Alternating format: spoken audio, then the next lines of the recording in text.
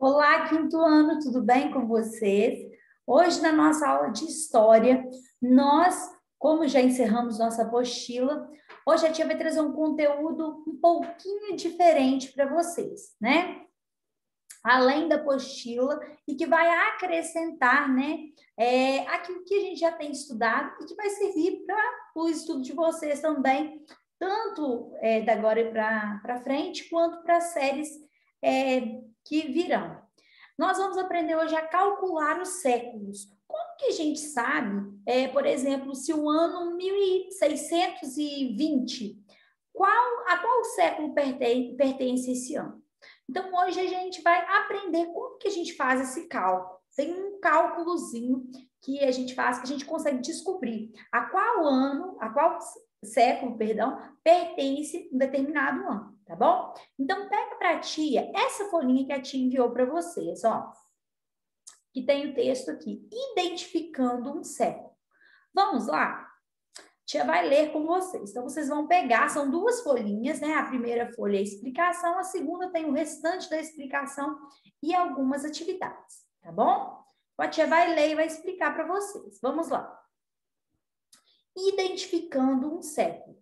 O objetivo dessa atividade é ensinar a identificar o século a que um determinado ano pertence.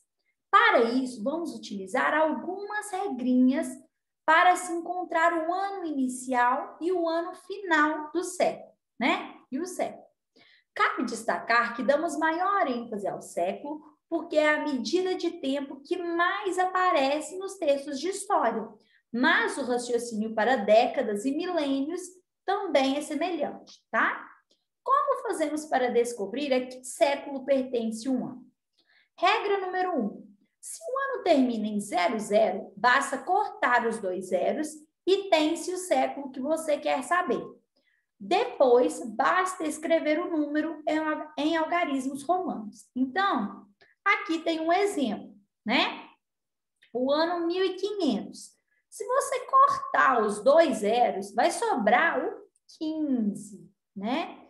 Então, significa que o ano 1500 pertence ao século 15, que é o XV, né? Porque os séculos são registrados em numerais romanos, né? Mas, por exemplo, no exemplo que a tia deu para vocês anteriormente, falando, do ano 1620, 1620 é terminado em um zero apenas. Dá para cortar, tia? Não. Aí a gente vai usar a regra número 2.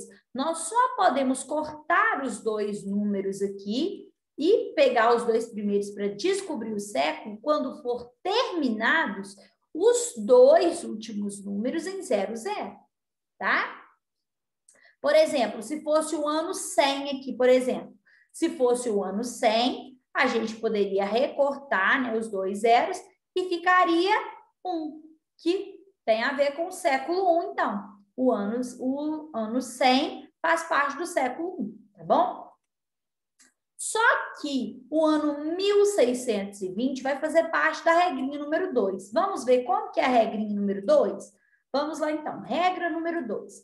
Se o ano não termina em 0, 0, porque ele só terminou em 1, 0 aqui, então ele terminou em 20. Então não é em 0, 0, né? Que é o caso da regra número 2 aqui. Cortamos os dois últimos algarismos, então agora a gente vai cortar, só que nós não vamos somente cortar. A gente vai cortar e no lugar a gente vai somar mais um, tá? Vai ficar 17, tá bom? Ao número que resta. Depois escrevemos os algarismos em números romanos, né? Então, o ano 1620 corresponde ao século 17, que é escrito X, V, I, I, né? Então, é assim que a gente identifica, tá bom? Então, fácil de identificar, né? o ano, por exemplo, uh, 1901, né? 1901. Ele termina em 00? Não, então eu não posso simplesmente só cortar. Ele termina em 01, então eu vou recortar os dois últimos e somar com mais um. Vai ser sempre mais um, tia? Sim, sempre mais um, tá? Independente se, por exemplo, se for 1999, você vai recortar o 99 e somar com mais um, né? Então, tanto o ano 1901 vai fazer parte do século 20, bem como o ano 1999 vai fazer parte do século 20. E o ano 2000, Tia Adri? O ano 2000 é terminado em 00. Então, eu vou apenas recortar, vai ficar século 20, tá bom? Então, o que, que nós descobrimos? Que o século 20 começa no ano 1901 e termina no ano 2000, tá bom? Então, agora nós vamos para a próxima página para a gente entender melhor isso. Vamos lá? Ah, perdão, tem um restinho aqui ainda, né? Algarismos romanos. Os números romanos foram, durante muito tempo, a principal forma de representação numérica na Europa. Os números eram representados a partir de letras do próprio alfabeto dos romanos. Esse sistema numérico associava uma letra a uma quantidade fixa, de acordo com a tabela a seguir, né? Então, aqui, ai, mas como que eu vou saber qual século que é, qual numeral é esse? Então, olha só, a tia já deixou para vocês aqui para facilitar e para vocês aprenderem um pouco mais sobre esses numerais romanos. O 1 é a letra I maiúscula, né? O número 2 são dois Is maiúsculos, maiúsculos, perdão. O número 3 são três Is maiúsculos. Só que o máximo que se repete o numeral romano é três vezes. Vocês vão observar que eles só se repete três vezes. Por exemplo, I, I, I, I, I, I. Pronto. Não tem como você colocar I, I, I, I para fazer o quarto, né? Porque senão ficaria né, infinito. Então, quando chega no 4, a lógica vai ser o seguinte: 5 menos 1. Porque o V não vale 5 e o 1, o I não vale 1. Então, o 1 aqui menos o 5 vai ser igual ao 4, né? Se você tirar, tiver 5, tirar 1, vai ficar 4. Então, IV é 4, tá bom? VI, tia? Porque o VI vai ser 5 mais 1. Você imagina que tem um sinalzinho de mais aqui no meio, tá? Depois, quando o I tiver depois, significa que ele está somando, tá bom? Então, aqui vai ser o 4, aqui o 5, depois VI 6, aí de novo, VI 7, VI 8 e o 9 é a mesma lógica, né? 10 menos 1 é 9. Então, IX é 9, X é 10 e o 11, XI vai ser 11, XII vai ser 12, XIII vai ser o 13 e o 14, XIV, tá bom? E assim sucessivamente, tá bom, galera? Depois o 20 vai ser o XX, né? E o 30 vai ser X, X, X. Nossa, o X da time ficou bonito, não, né? Aqui não. Mas vai ser X, X, X, né? O 30. O 40, aí o 40 vai ser X, é, XL, porque olha aqui o 50. 50 não é o L? Então vai ser 10 menos 50. E assim sucessivamente, assim como 60 vai ser XL, ou perdão, vai ser LX, não vai ser o contrário. O 60 vai ser. Ui, não ficou bonito, não, peraí. O 60 vai ser o L, que é o 50, mais o X, que é o 10, né? O 70 vai ser LXX e o 80 vai ser LXXX, né? Que é 50 mais 30. E o 100 vai ser x C. Por quê? 100 menos 10, dá 90, tá bom? E assim sucessivamente. Essa segue e segue essa lógica, né, para todos os outros anos, tá bom? Para todas as outras, outras representações. Não é muito difícil, né? Desde que a gente decore, né, o que, que cada letrinha significa, né? Quanto ela vale, fica muito fácil de identificar. Então, Agora nós vamos para a segunda folha. Sabendo que um século equivale a 100 anos e utilizando as regras apresentadas no tópico anterior, temos O século I, que vai do ano 0 ao ano 100. O século II, que vai do ano 101 ao ano 200. Na verdade, né, do ano 1 aqui, né, pessoal? Ano 1 ao ano 100. Né? Não existe ano 0, né? Ano 1 aí. Ano 1 ao ano 100. Século II, é, ano 101 ao ano 200 Século 3, ano 201 ao ano 300. Século 4, ano 301, ano 400. Século é, 5, 401 a 500 e assim sucessivamente, né? Todos os anos posteriores aí. Precisamos prestar atenção, pois os algarismos romanos obedecem a um padrão. As letras são escritas uma ao lado da outra. Quando temos uma letra maior seguida, uma seguida de uma menor, somamos os valores. Observe que eu expliquei na página anterior, né? Por exemplo, se for VI, é como se fosse 5 mais 1, que é igual a 6, né? X e I é 10 mais 2, que é igual a 12. LV, 50 é mais 5, né? 55. CCL, quer dizer, 100 mais 100, 200 mais 50, 250. MCCXI, M é 1000, CC, né? Vai ser 200, então 1.200, 10, mais 10, mais 1, né? 1.211. E assim sucessivamente, né? DXX 500, né? 500 mais 20, né? XX é 20, 520. MDCL 1.000, é, 500, é 1.400, 1.600, perdão. Porque o D vale 500 e o C vale 100, né? com mais 100, 1.650 e assim sucessivamente, tá? Quando temos uma letra menor seguida de uma maior, subtraímos da maior pelo valor da menor, que é o caso do 4, né? O IV significa, né, que é o 5 menos o 1, que é igual, igual a 4. O IX, 10 menos 1, e assim sucessivamente, tá?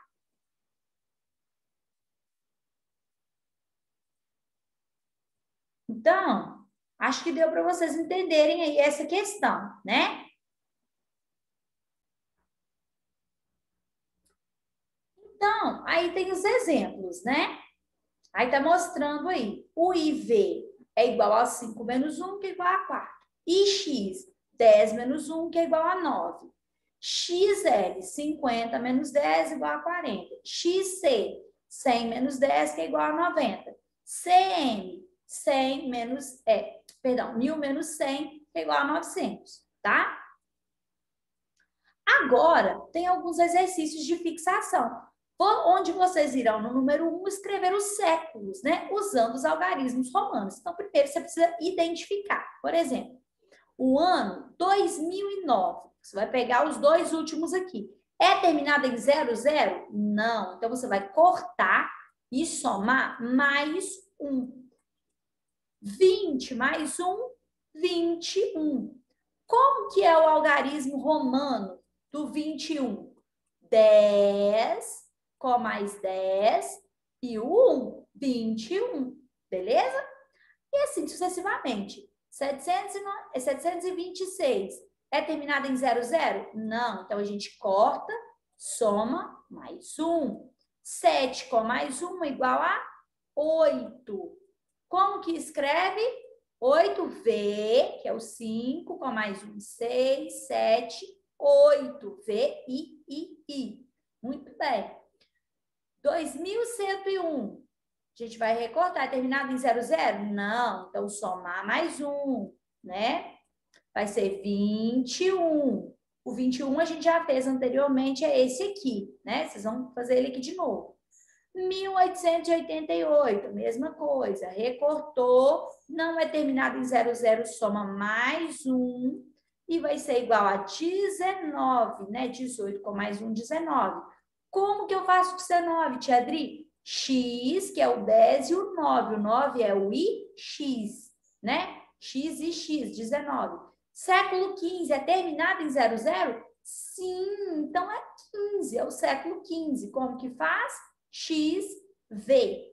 Então, essa já ficou até a correção para vocês aí, né? Só colocar o 21 aqui de novo, né? Que eu só falei que ele era igual ao outro lá, mas eu escrevi ele aqui. Então, vai ser XXI, tá bom? Então, vai ficar assim o número 1. O 2, vocês vão completar com algarismos romanos as datas em que surgiram os seguintes eventos. Então, é as datas aqui. Aqui não é o século que é para você colocar, é para você colocar o ano. 1296. Qual que é o ano que faz o mil? É o M, não é? 200, C e o C. 90, qual, como que faz o 90? X, C. E o 6? V, I. Então, vai ser assim, ó, o ano 1296, tá bom?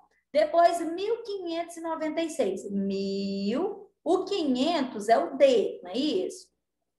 M, D, 90 é o X e o C. E o 6, de novo, né?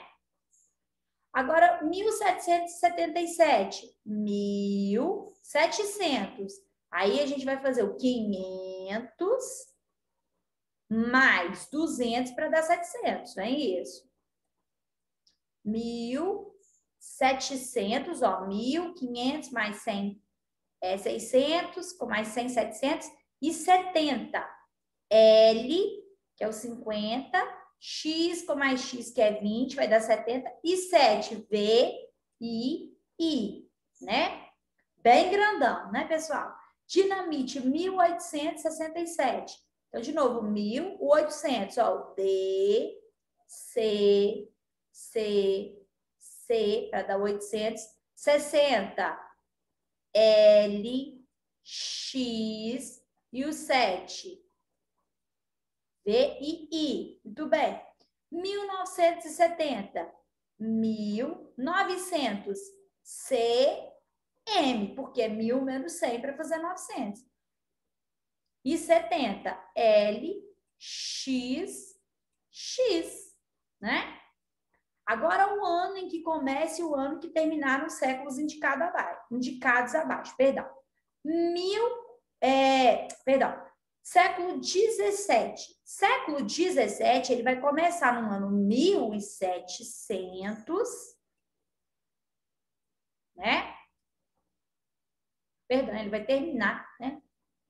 Peraí fiz errado aqui com vocês, galerinha. Ele vai terminar no ano 1700, né? Ele vai começar, deixa eu procurar aqui a parte de desenhar aqui. Ele vai começar no ano 1601, porque 16 com mais 1 vai dar 17. Ele vai começar no ano 1601 e vai até o ano 1700, tá bom? Século 17. Século 9 o século IX vai ser o mesmo processo, né? Ele vai começar no ano 801, porque se a gente pegar o 018 com mais 1, vai dar 9, né? Ele vai do ano 801 ao ano 900. Século 11 vai começar no ano é, no ano 1001 1001, porque 10 com mais 1 vai dar 11. E vai até o ano 1100. Tá? 1100. Século 21. Ele vai começar no ano 1000. 21, não, perdão, gente. Vai começar no ano 2001, que é o século que nós estamos vivendo, né? 2001 e vai durar até o ano 2100. Será que nós vamos estar vivos até lá, galerinha? Vocês provavelmente, né? Eu já não, né? Então vai do ano 2001 ao ano ao ano 2100, tá bom? Então essa já ficou aqui a correção para vocês, tá bom? Do ano em que começa e que termina cada um dos séculos. Tá bom, pessoal? Pausa o vídeo, copia bonitinho e faz a correção aí, dá o certinho e cola no caderno de história essa folha. Isso é muito importante para que vocês aprendam, né, a calcular essas datas, tá bom? Fica muito mais fácil da gente identificar de qual período que a gente está falando assim. Tá legal, pessoal? Então, essa foi a nossa aula de história de hoje. Um beijo no coração de vocês e até a próxima aula. Tchau, tchau!